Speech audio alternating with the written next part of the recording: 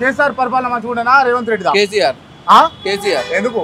అంతే ఏం చేశాడు ఆ, కేసీఆర్ అన్ని చేసిండు ఆయన. ఏం చేసిండు? ఏం చేశాడు ఉన్నవాని గుంజుకుంటుండు. ఈయనేం చేసిండు మరి? ఏం గుంజుకున్నాడు? ఏం గుంజుకున్నాడు అంటే ఉన్నది మా మా పొట్టలు కొట్టిండు మరి?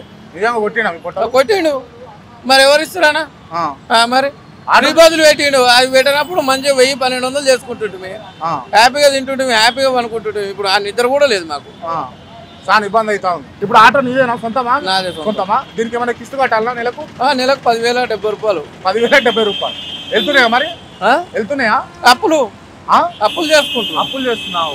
ఇవాళ పేపర్లో నేను వార్త చదివిన. ఏంటి అని అంటే ఆటో కార్మికుడు చచ్చిపోయిండు. ఎట్లా అంటే కిరాయి కట్టలేక ఇల్లు రెంట్ కట్టలేక కరెక్టేనా చచ్చిపోయిండు. కరెక్టే అది కరెక్టే అది. అంటే చచ్చిపోయే పరిస్థితి ఉన్నదా ఆటో కార్మికులకు? సచ్చి సావద్దు ఎందుకు సావాలి చెప్పండి. అదే నేను కూడా అదే చెప్పిన సావద్దు. సావద్దు. చచ్చిపోయే పరిస్థితి ఉంది ఆటో కిరాయి అట్లా అయిపోయింది ఇక. ఎందుకంటే సావలేం కదా మనం. అవును. పెళ్ళాం పిల్లలు ఉన్నారు. అవును. మనం చచ్చిపోతే ఏమవుతుంది మళ్ళీ? అవును. మన పెళ్ళాం పిల్లలు రోడ్డు మీద వస్తారు. అవును.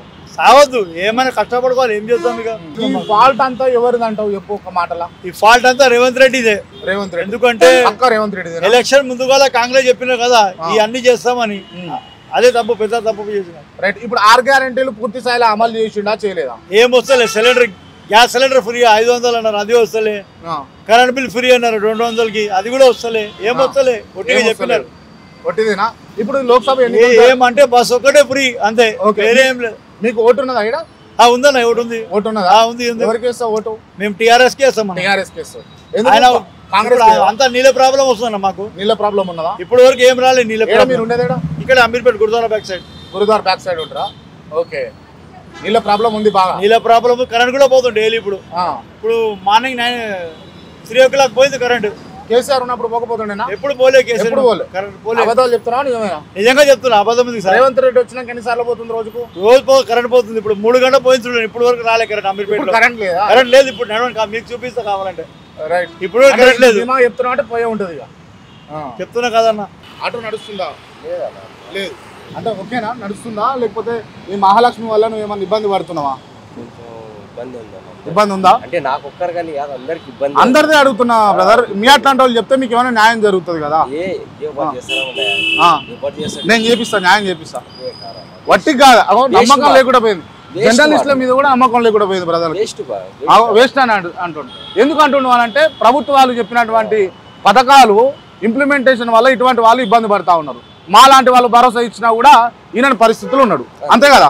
వాస్తవం కదా అంశం. రైట్ పో పని మీద ఉన్నాడు. ఆటో నడుస్తుందా బ్రదర్ మంచిగా? నడుస్తలేదు. కిరాయి కిరాయి కొడుతురా అసలు మీరు? అట్లా అట్లా అవుతుంది. అట్లా అవుతుంది. అంటే అసలు సరిపోతున్నాయా? మీకు కొట్టిన కిరాయి పైసలు?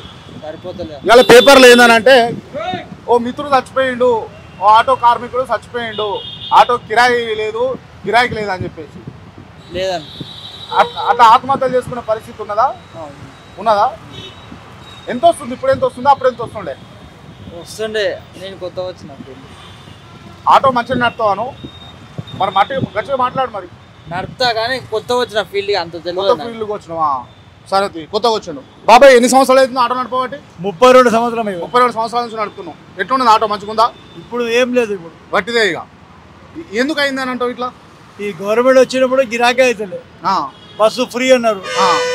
ఇప్పుడు ఆటో తీసుకుంటే పదివేలు కనీసం టెన్ థౌసండ్ నుంచి fifteen thousand finance EMI. Five fifty అయిపోయింది ఆటో ఇప్పుడు. Five lakhs fifty thousand auto rate. ఇప్పుడు మేము ఏం సంపాదించాలి? ఇంటికి ఏం తీసుకుపోవాలి? గ్యాస్ వేసుకోవాలి. ఓలా ఊబర్లో కూడా ఏం లేదు బిజినెస్ ఇప్పుడు. అంత తక్కువ వస్తున్నాయి పైసలు చాలా తక్కువ వస్తున్నాయి పైసలు. ఓకే. అంటే ఏమో ఎక్కువ అయిపోయినాయి. డిస్టిక్ ఆటోలు అయిపోయినాయి. పదమూడు నంబర్ కరీంనగర్ వరంగల్ ఆదిలాబాద్ అన్ని ఆటోలు ఇక్కడే నడుపుతున్నాయి. రైట్ అంటే మీ ఎక్స్పెక్టేషన్స్ ఏంది? మీరు ఏం కావాలనుకుంటారు ప్రభుత్వం నుంచి? ఏం లేదన్న బస్సులు ఫ్రీ పంచేయాలి ముందుగా. బస్సులు ఫ్రీ బంద్ చేయాలి. లేకపోతే- అన్యాయం అవుతారు కదా? లేడీస్కి కనీసం కొంచెం ఏమైనా డిస్కౌంట్ ఇవ్వాలి. వాళ్ళకి డిస్కౌంట్ ఇవ్వాలి.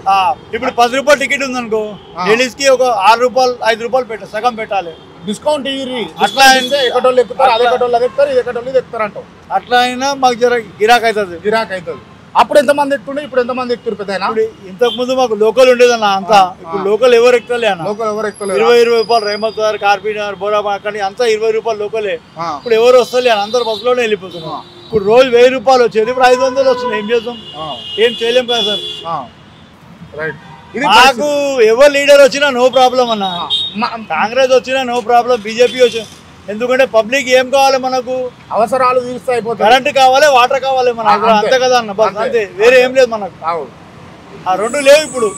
రైట్. ఇది మరి ఒక ఆటో కార్మికుడు రోజుకు వంద రెండు వందలు మూడు వందలు సంపాదించుకునేటటువంటి ఆటో కార్మికుల పొట్ట అయితే రకంగా కొట్టిను అని అంటున్నాడు. అంతేనా?